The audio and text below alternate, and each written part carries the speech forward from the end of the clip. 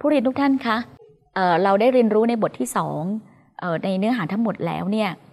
จะเห็นได้ว่าเราจะเข้าทำความเข้าใจในเรื่องเกี่ยวกับรูปแบบขององค์กรกำกับดูแลนะคะ ที่ใช้ทั่วโลกแล้วก็ในประเทศไทย แล้วก็รวมถึงนิยามของบริการกิจการโทรคมนาคม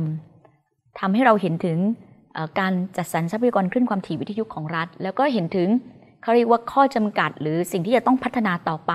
นะคะ ในการรองรับเทคโนโลยีโทรคมนาคมใหม่ๆ ในอนาคต แล้วก็เพื่อให้สนองตอบต่อการตามหลักการของของนโยบายภาครัฐ ตามรัฐธรรมนูญนะนะคะว่า การจัดสรรทรัพยากรขึ้นความถี่จะต้องเป็นไปเพื่อประโยชน์เป็นประโยชน์ของประเทศนะคะของประชาชน เพราะฉะนั้นด้วยการที่เรามองว่าเป็นทรัพยากรสื่อสารของชาติ เพื่อประโยชน์สาธารณะนะคะทั้งหมดนี้ผู้เรียนอย่าลืมอ่านเอกสารประกอบการบรรยายก่อนนะคะ ก่อนที่ท่านจะไปทำแบบทดสอบท้ายบทเรียนค่ะ